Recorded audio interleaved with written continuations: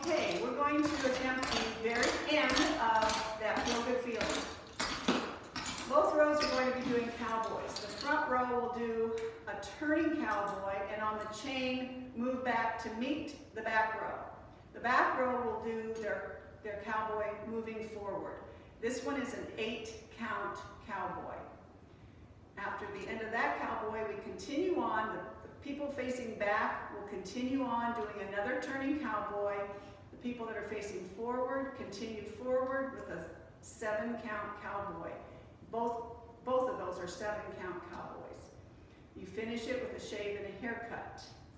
Let's try.